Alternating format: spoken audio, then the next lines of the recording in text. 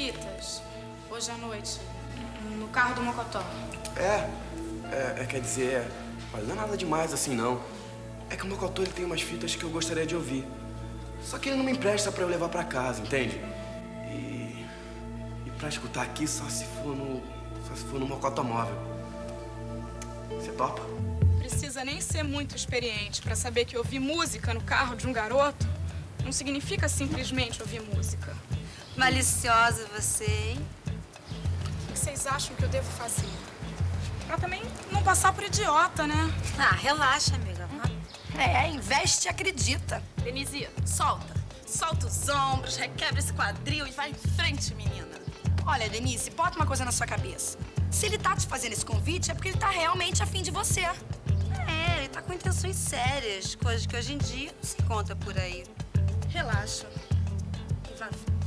Justamente isso. Eu não sei se eu tô preparada. Ah, minha querida, nessa vida ninguém tá preparado pra nada, não. Quem não arrisca, não petisca. Olha que o medo morreu solteiro, hein? É, eu, se fosse você, metia bronca. Será? Alex,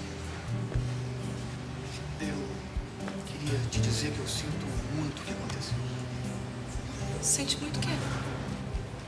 Ué, o que aconteceu entre você e o seu namorado ontem?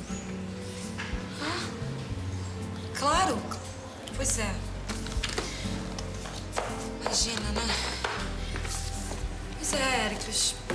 Não dá pra fingir que tá sendo fácil, né? Tá doendo muito. Esse papel de otária, né? Isso. Assim não, Alex. Ele enganou todo mundo. É, ele parecia ser um cara legal, sabe? Até eu confiei nele. Bom, mas o que interessa é que depois dessa história toda eu pude ver que você tá do meu lado. De verdade.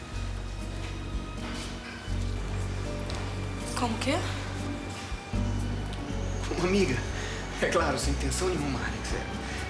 Porque eu fiquei, fiquei preocupado, sabe? Você lembra, depois do lançamento do meu livro, você.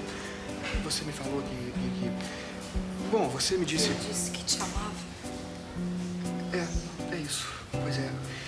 E agora eu posso respirar mais aliviado. Porque se você tá sofrendo por causa do Vinícius, quer dizer que você tá gostando dele. Também nem tanto assim, né? Quer dizer, é claro que dói ser traída. Mas ele não é um homem da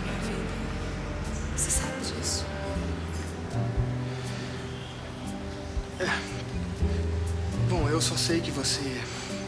Você vai encontrar alguém, Alex, eu tenho certeza, alguém que te mereça. Como você encontrou a Fernanda. Ela tem sido muito legal pra mim.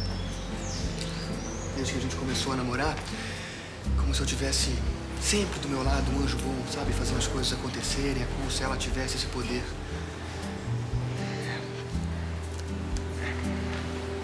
Ah, você já sabia que a gente foi convidado para apresentar um programa de televisão? É, a gente, eu digo, lógico, eu e Fernanda, né? Claro.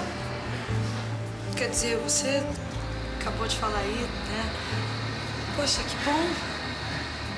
Que bom, fico feliz por você, Ericles, por você, pela Fernanda. É, a gente, inclusive, tá indo para São Paulo hoje à noite. Pra São Paulo. É, a gente vai ficar lá cinco dias para gravar os primeiros programas. Puxa, Ericles, que bom, né? Cinco dias. Legal, né? Pô, legal.